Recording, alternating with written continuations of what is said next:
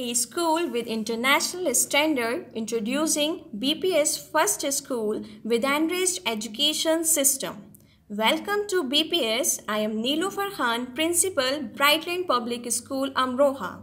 Educomp supported classes with multimedia facilities. Every classroom has 24 students under a teacher. Medical inspection room. Midbrain development activities.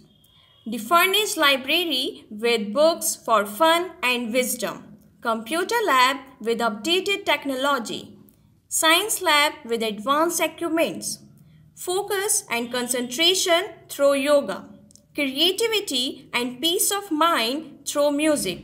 Well-designed infrastructure with international standards.